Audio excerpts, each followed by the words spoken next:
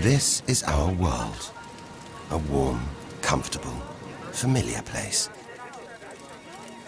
But walk away from the fire and look up. Our thoughts soon leave home. Are we just insignificant specks? Is the universe welcoming or hostile? We could stand here forever, wondering. Or we could turn our back on this beach, leave home, to see the universe. From here to its edge, to discover its wonders, confront its horrors. Beautiful new worlds.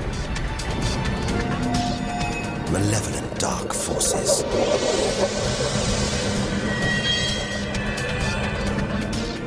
The beginning of time. The end of the world. Would we have the courage to see it through? Or would we run for home? There's only one way to find out.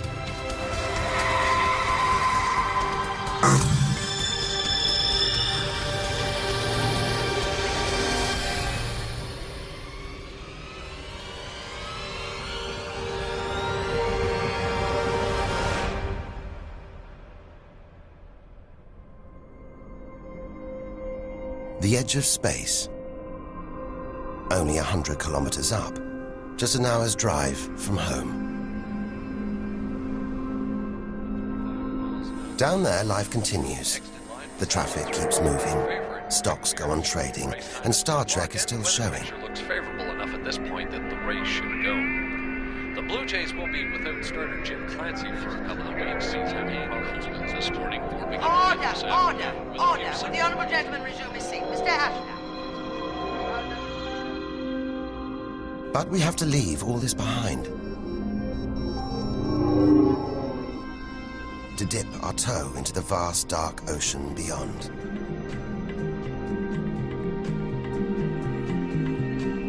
Into the shallows. Not too far from home. Onto the moon.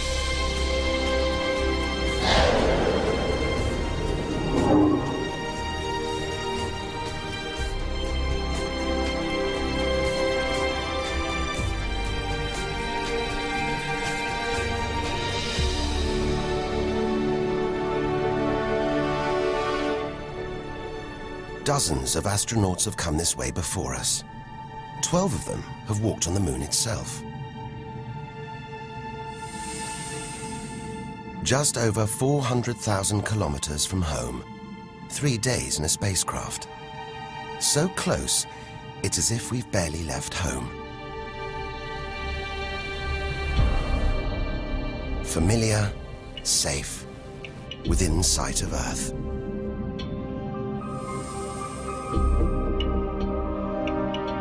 It looks like a deserted battlefield, bombarded by millions of meteoroids and asteroids.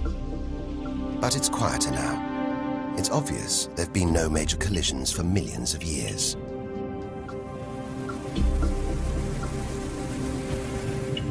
This brings back memories. The Apollo 11 lunar module. Neil Armstrong's first footprints. Looks like they were made yesterday. There's no air to change them. They should survive for millions of years. Maybe longer than us.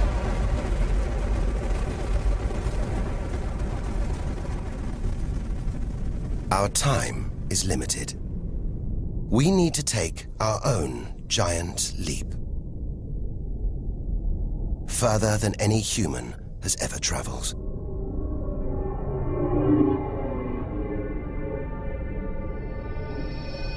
Out of the darkness, a friendly face. The goddess of love. Venus.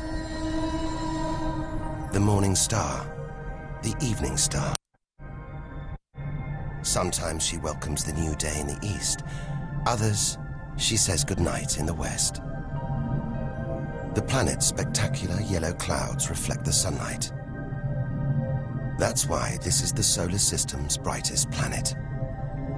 A sister to our planet. She's about the same size and gravity as Earth. We should be safe here. But the Venus Express space probe is telling us these dazzling clouds are made of deadly sulfuric acid. That the planet's atmosphere is choked with carbon dioxide. It's ringing alarm bells.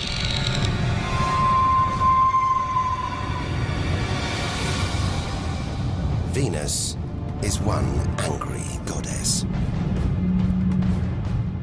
The air is noxious, the pressure unbearable, and it's hot, approaching 500 degrees Celsius.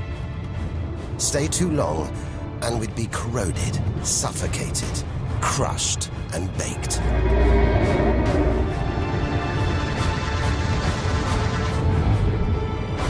Nothing Like this. It's a Soviet Venera robotic probe. Its heavy armor's been wrecked by the extreme atmosphere.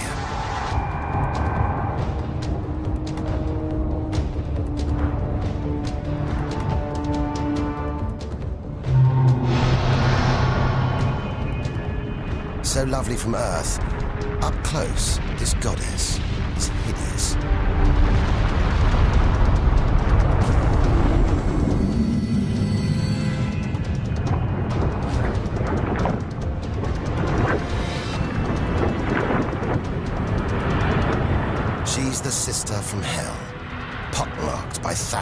Volcanoes. All that carbon dioxide in its atmosphere is trapping the sun's heat. This is global warming gone wild. Before it took hold, maybe Venus was calm, more like her sister planet Earth.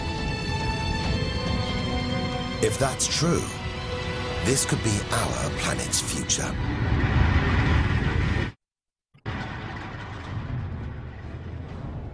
Beginning to think we shouldn't be out here, that we should turn back. But there's something hypnotic about the sun. Like Medusa, too terrible to look at, too powerful to resist, luring us onwards. On, like a moth to a flame. Dwarfed by, scorched by the sun, it's Mercury. Get too close to the sun, this is what happens. Temperatures swing wildly here. At night, it's minus 170 degrees. Come midday, it's 400 plus. Burnt, frozen, and look at those scars. A sign that Mercury had a violent past. The Messenger space probe. It's telling us something strange. For its size, this little planet has a powerful gravitational pull. It must be heavier than it looks. It's like a huge ball of iron, covered with a thin veneer of rock. The core of what was once a much larger planet. Maybe a stray planet slammed into Mercury, blasting away its outer layers in a deadly game of cosmic pinball. Whole planets on the loose, destroying anything in their path, even entire planets. And we're in the middle of it. Vulnerable, exposed, small. Everything is telling us to turn back. But who could defy this? The sun, in all its mesmerizing splendor. Our light, our lives. Everything we do is controlled by the sun. Depends on it. And more than that, it's the Greek god Helios driving his chariot across the sky. The Egyptian god Ra, reborn every day. The summer solstice sun rising at Stonehenge. For millions of years, this was as close as it got to staring into the face of God. 150 million kilometers from home, a 20-year journey by plane. Switch it off, and it's so far away, we wouldn't know about it for a whole eight minutes. It's so big, you could fit a million Earths inside it. So heavy, its gravity controls the entire solar system.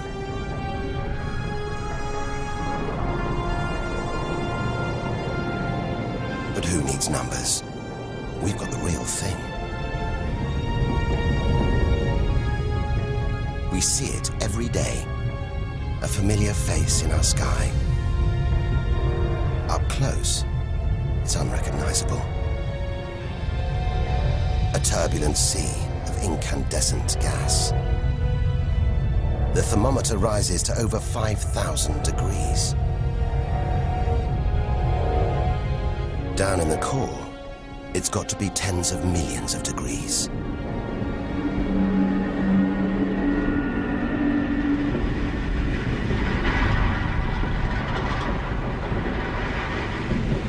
Hot enough to trigger a nuclear reaction, turning millions of tons of matter into energy every second. More than all the energy ever made by mankind. Back home, we see this energy as light, feel it as heat. But up close, there's nothing comforting about the sun. It's so full of electrical and magnetic activity, it's bursting out in these huge incandescent gas loops called prominences. Each one releasing more energy than 10 million volcanoes. You could get the Earth through one of these loops and still have tens of thousands of kilometers to spare.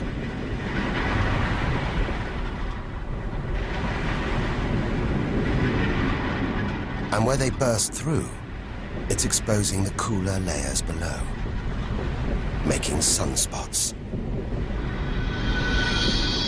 They're a fraction cooler than their surroundings. That's why they look black, but they're still hotter than anything on Earth. And they're massive, too. Some of these are at least 50,000 kilometers across.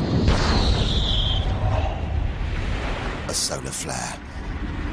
A superheated stream of electrified gas blasting deadly radiation out into space.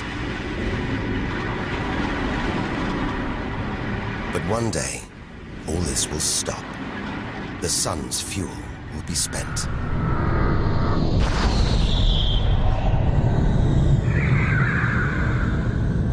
Dies, that'll be it for the Earth as well. This god creates life.